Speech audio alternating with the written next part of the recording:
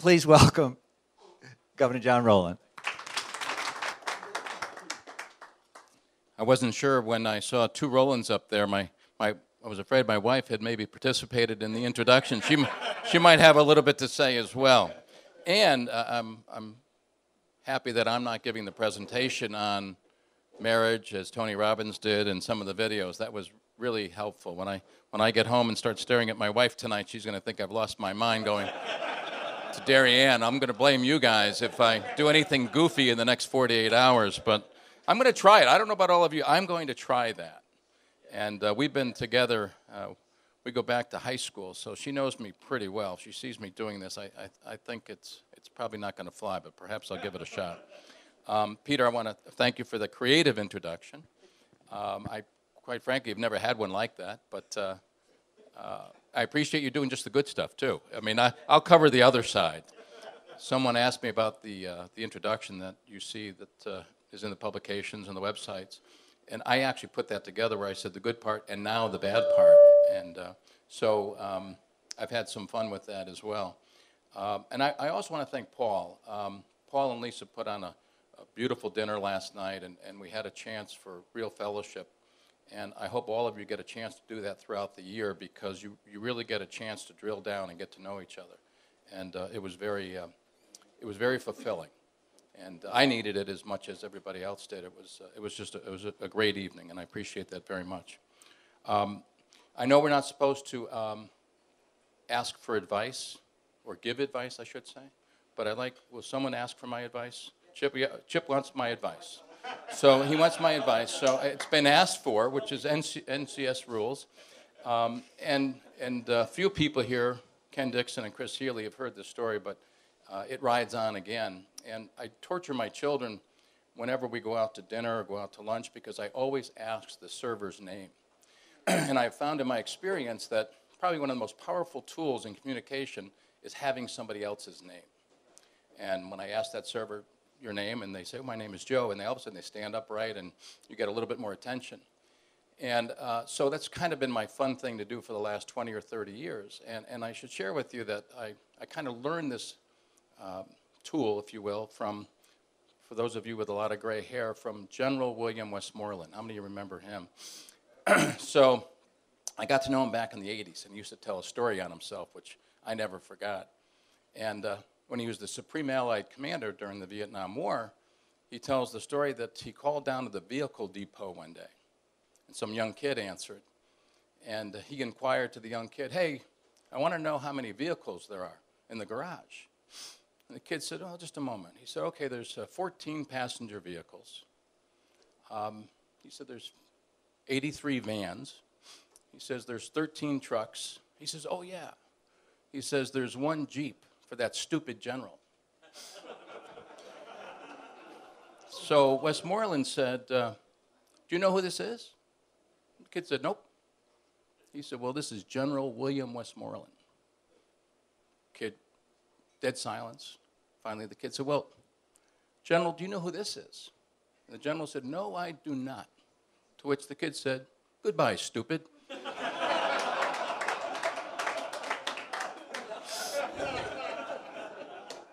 so that's my advice, Chip. So um, I've been asked to talk about how I ended up coming to prison fellowship um, and kind of the path that I've gotten there. And, and I'll tell you, I have some propaganda over there, which I would encourage you to grab. There's some annual reports. I even have my card there. Uh, and I would encourage you to, uh, to take a look because it's an incredible, incredible ministry. Uh, a little bit quiet in this part of the, of the country, but it's huge across the Bible Belt and, and certainly out west. So I, I would encourage you to, to look into that ministry, and, and that's all I'll say about that. So um, I was teasing with Chip a little bit earlier that um, I have the extraordinary uh, let's say, unique opportunity to be one of the 67% of those that return to prison. And uh, I, I, look back, and I'm sure all of us, I think I said this last night, we look back on our lives and we look ahead in our lives. And I had a friend in prison who had a great line. He said, You know, there's only three stages of life there's the time as you enter into a crisis, there's the time you're in crisis, and then there's the time you come out of the crisis. And I thought, well, that's a very pessimistic view of the world. And I thought about it. I said, you know what? But it's true. Because if we think that, you know, everything is smooth sailing and everything's flat and everybody else has a better life and everybody else has a better circumstance and so forth and so on, life's not fair, as we all know. And what I love about NCS is that there is a honest sharing of our values, our feelings, working with each other, and, and it's extraordinary and it's unique. Um, and so let me share with you that I, I won't get into the details of, you know, kind of how my life started, but you saw the picture with the mustache, and yes, I was very young. And sometimes when you have early success, with that early success, there's not grounding, maybe there's no wisdom, uh, maybe you don't have somebody mentoring you, so you, you're kind of winging it. And, and I was blessed to have early success, and it went on for quite some time. But God has a, a, a way of kind of adjusting our lives. And, and I, I brought the uh, Chuck Colson's book, Born Again, uh, wrote this 43 years ago. And some of the things he says about the world 43 years ago are so true today. It's just kind of scary uh, how things either haven't changed or, frankly, have gotten worse. But Colson says something in the forward. He says something to the effect that God has to break us to remake us. And I know we'd like to believe that that's not true and we can do it on our own. As my wife and I used to say, all about allaboutme.com. Uh, but I'm afraid it's, it's not that way. I, at least it's not been my experience, and I'm sure that's true of everyone else's. So I look back, and the first thought I have is, wow, I've had all these great successes, you know, the other Rowland, if you will. Uh, but what have I done with the tragedies? What have I done with the, the hardships? Uh, Peter mentioned that we have five children. Well, we have four children uh, because we lost one of our children to an opiate overdose about eight years ago. And uh, when we were sharing last night, we were talking about those of us who've been through divorce and financial hardship and the loss of a loved one. And I was the last one to speak, and I thought, oh my goodness, I've pretty much had all of those unique problems, challenges. And through all of those, I continue to ask myself, what is God's purpose? What is God's plan? Uh, why did this happen? And, and, and frankly, not spending a lot of time on the why, but spending a lot of time on the now what do I do? How do I use this?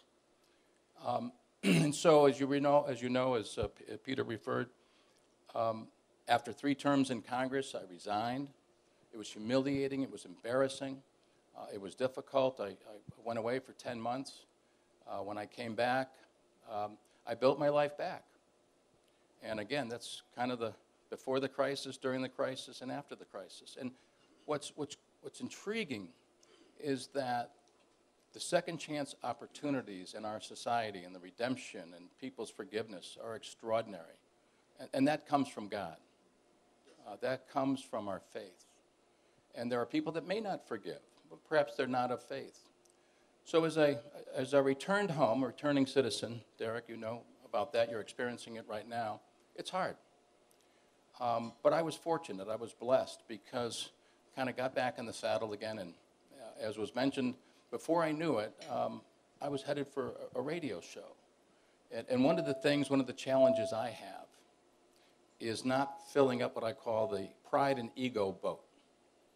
I kind of use the analogy that I think for me, life is like a boat.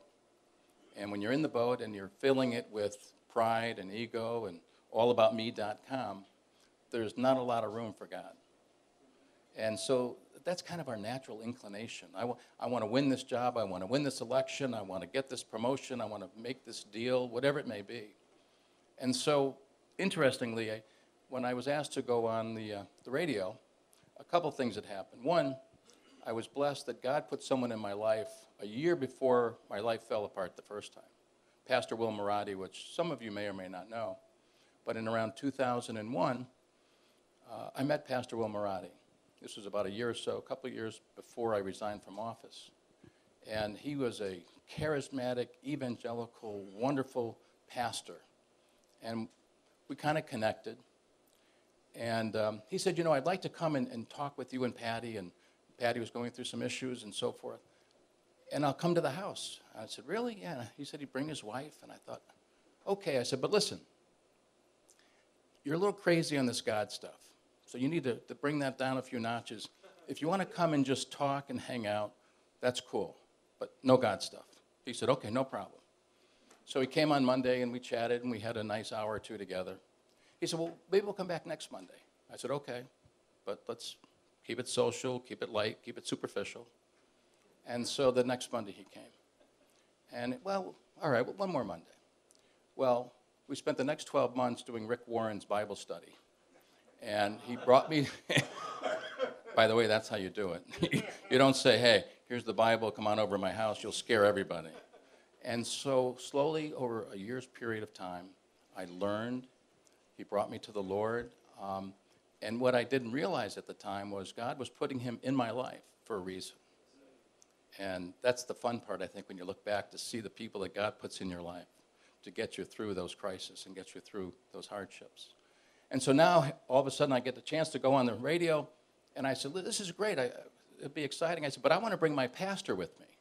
And TIC said, What? I said, I'd like to have him on the show with me. I said, Listen, has the guy had any radio experience? I said, Nope. He said, Here's what the job pays. Now, if you want to share it with them, knock yourself out. So I said, okay. So we started the show together. We called it Church and State, and we had a great time. And we were very political, and we talked a lot. I, I always said that I was the church guy, he was the political guy. And a little bit of truth to that. And uh, we had a great run. And then all of a sudden, um, I, I'm finding out that uh, I'm being investigated. And, um, and I'm like, about what? I, I couldn't kind of grasp what had happened. And finally, my, one of my the lawyers went to see the, the prosecutor, and the prosecutor said, Well, he said, um, two young 36 year old kids, call them kids, and um, they said, Hey, your guy didn't do enough time 10 years ago. We're going to get him. That's not good. Uh, for those of you that have been incarcerated, that's not good. And if you watch what they're doing to the leader of the free world, if they decide they're going to get you, they're going to get you. There's no question about that. And I don't say that as an excuse, I say that as reality. So off, this, off we go, and we're on this adventure. And before I know it, I'm going to trial. I'm losing the trial. I'm going to the appeal, Supreme Court, and I'm now heading out for 15 months. What I got to tell you about the defining moment for me was when the indictment came down. I was down in, in New York, and I was beside myself. I was embarrassed. I, I couldn't believe it. People would say, How could this happen again? I couldn't explain it. I never had a venue to explain it. But I didn't care about explaining it to anybody. But what I was worried about was my wife and my children and how are we going to deal with this? And I've got to tell you that one of the reasons I'm working for Prison Fellowship is that when you're in that pit, and all of us have been there, you start to lose hope. And, and that's the scariest thing in the world when you start to lose hope because everything else falls apart. And I'll never forget walking out of my lawyer's office and going over to Bryant Park and sitting there and just praying, saying, I God, I can't believe this is happening. How is my family, how are they going to deal with this? How are they going to get through this? How is my wife going to get through this? I went away, I resigned from office, we, we lost her child how, how, how can they ever deal with this? And I lost hope. I lost hope sitting in Bryant Park. And I'm always an upbeat guy, optimistic. And I was as down as you can be. And I thought this was the end of my life. And then I, my two daughters came down and we went out to dinner and I started to tell them what was going on and they just stopped me. They said, Dad, don't worry about it. We got this. And I just stopped right there. And I knew that God was working through them. And I knew that my prayers and my faith as I sat in Bryant Park were answered. I'm getting goosebumps just talking about it because that moment, my hope was restored. With one simple sentence Dad, we got this. Off we went. My daughter had to change her wedding. She had to move her wedding up six months so I could walk her down the aisle before I went away. And there I was, sitting in Lewisburg, Pennsylvania, in the middle of nowhere. As I sat there, I thought, what's the, what's the purpose, the meaning, the reason behind all this? And again, I decided it's time to readjust my life, and I thought about Chuck Colson. God has to break us to remake us. And so I did Bible study, and it took that time for spiritual growth and got through it. But I'll tell you what resonated with me. And Chip and I and others have talked about this. I knew how blessed I was. I was going home to a loving wife, children, finances. I had a stable home and friends. I had a driver's license. I had a high school diploma. And I looked at all the faces around me. They did not have that. Nothing close to that. Nothing close to that. No family, no finances, no friends, no resources, not even a driver's license, not a high school diploma, and maybe 10 years of, of time under their belt, and they were coming back to society. When Chuck Colson wrote that book, there were 440,000 people incarcerated. Today, there's 2.3 million that are all coming home. They're all coming back here. And I resolved my, myself at that point to try to, in some way, shape, or form, do something about it. Not sure if it was a retail thing or a wholesale thing. Didn't really know. I just, I trusted God was going to steer me in the right path after this latest adventure. So I get out.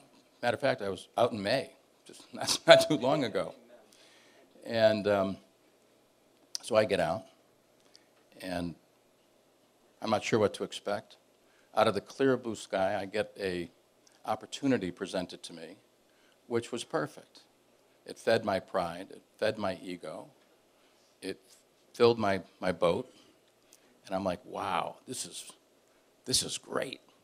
Wife was like, this is, this is redemption, this is cool, this is fulfilling, this is extraordinary. You're back on top. It's all about you.com. No, she didn't say that, but that's what we say about her. That's what we say about each other all the time. But in the back of my mind, I kept thinking, and you've all been there, I don't think that this is the path. I, I, don't think that this is God's plan. I don't think this is what I'm supposed to be doing. But if that's the case, what am I supposed to be doing? And so I pursued this reluctantly, the opportunity that was before me. And kind of a, you, have never heard of coincidences. There's no such thing as we know. They're Godstances, or whatever you'd like to call them. There's no such thing as a coincidence. When I was away, someone had sent me a card. They said, hey, there's this guy from Prison Fellowship. His name is Craig DeRoche. He's head of advocacy. He was a Speaker of the House in Michigan. Would you please call him or re- reach out to him? I sent him a note when I was away. I said, hey, when I get out, I'll give you a call. And so I called him. I was kind of cleaning up things. I was about to sign my contract a couple of days away. And I called him. I said, hey, Craig, how you doing? He's a fellow politician. We talked politics for a while, and Speaker of the House. He was instrumental in all the advocacy things that have been going on, the First Step Act and the criminal justice reform that was just signed uh, in Washington this week, or I should say mentioned this week, but signed a few weeks ago. so he said, well, what are you doing? I said, well, I've got this great opportunity, so forth and so on. I said, but Craig, it doesn't feel right. I didn't go through all of this to do this. He said, Well, come work for us. I said, Really? What could I do for prison fellowship? Incidentally, 12 years ago, I ran into Chuck Colson. I, I think it was an NCS event. We talked about that. It was somewhere. And he asked me to work for him at that time. I said, Oh, no, I've, I've got bigger fish to fry. That's Chuck Colson calling. who's, who, who's not with us, which is. And I said, uh, You know, he said, well, come work for us. And I said, doing what? He said, well, we, we'd love to have you take care of the Northeast. I said, oh, sure, the land of the frozen chosen. I said, we don't have a lot of believers. There's probably all the believers in this room, probably within 20 square miles. He said, we're, we're really lacking. We need somebody to develop and we need someone to market and so forth. And I said, I don't know. I said, really? And I thought about it, but more importantly, I just prayed about it. And I said, well, let's run down the path. And if we get all green lights, I think I'll do it. And so I had to put the other job on hold. And I just went, talked to my daughters, and they said, Dad, that's what you should be doing. Because I do have the unique skill set of having been running prisons and being incarcerated. Not too many people can brag about that. so I have a unique perspective. I know the ins, I know the outs, I know the ups, I know the downs. And so um, I said, all right, I'm going to do it. And whenever you make those decisions and you say, all right, is, is this the plan? You know, I don't know about you, I'm always looking, if this is the plan, that light will flicker. Don't we wish it was that easy? You know, if this is the right thing I should be doing. But God has other ways of operating. So I start the job. I had to turn down this other, more lucrative, more satisfying, ego filling, pride satisfying job. And so um, I started a lot of traveling. So, literally, three weeks into the job, um, I have to go down to the Harvard Club for an event in New York. And we have 50 donors there. And my first experience, my daughter works in New York. I said, honey, would you like to come? You, you talked me into this. She said, oh, sure, Dad, I'll go. So she shows up, and we're at the Harvard Club. And here's this returning citizen, which is what we like to be called right there. A returning citizen from Rikers Island. He'd been out about three weeks. Three weeks, right? That sound familiar? And here's this guy. Imagine this. Imagine you doing this. Rikers Island, three weeks, young guy, standing in front of 50 people in a Harvard club, you know, with steak tips, giving his testimony. It was extraordinary. All he talked about was how prison fellowship changed his heart. And that's what prison fellowship is about spiritual transformation. And, you know, listen, I'd like to think everybody's going to return home and be good citizens, but you need spiritual transformation in order to be a better person. Ephesians describes it well. And so um, he finished. It was great. My daughter's walking me back to the train, and uh, she turns to me as I'm about to get on the train, and she grabs me. She says, Dad, she said, I'm so proud of you. So, like all of you, I got on the train crying, and I just prayed and thanked God that this was the affirmation I was getting, that this is what I should be doing. This is the purpose, that serving someone beyond myself. And I'm so blessed to have this opportunity. How crazy does that sound? That I'm not doing the other ego fulfilling things, that God has given me an opportunity to serve Him and to serve those in need. And it's a blessing. It's a blessing to go back to prison a second time. This guy's a little cuckoo, uh, but it is. And it was reaffirmed. And I think we probably will all have some of those opportunities in our lives and some of those challenges. And it's, it's not complicated. Um, we just have to be ready, willing, and able. I do want to um, share with you. And, and has anybody ever read Born Again, Chuck Colson? Yes. It's awesome. It's, it's, just, it's just a great book. And the fact that it's been 43 years. And in the, in the introduction, he says, Born Again. For me, it is anything but a cliche, suggesting that someone has arrived at some state of spiritual superiority. it means only a fresh start at putting my life in order, but it had to come with the renewing of my spirit. As I have fallen down, picked myself up, and fallen down again during the past few years, I am learning how God can break us in order to remake us.